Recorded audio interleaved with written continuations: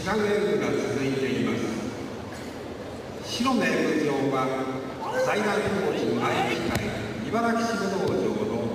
広沢師範です改正より呼吸法の教えを受けこれを土台にして指導に当たられています青名部長は財団法人愛知会茨城支部道場の稲垣師範です自ら与えられた天の使命を早くからかに物事を仕事する心を養成することを指導理念に茨城県がミャンマーで指導されています赤の演長は財団法人愛知会茨城支部道場の渡引師範です稽古を通し忍耐力を養成してもらうこと人に自然に優しい心を育んでほしいということを中心に茨城県まで指導されています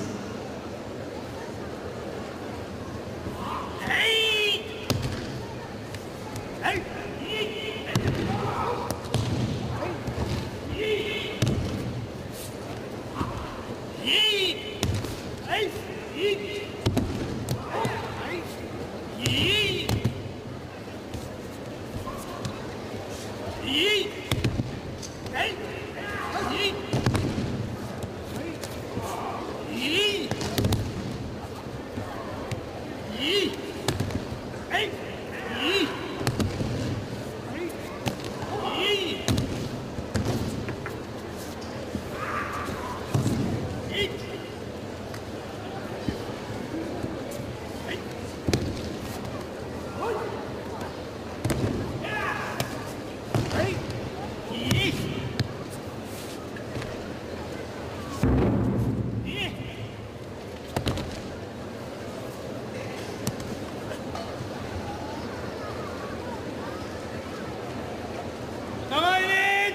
で、えい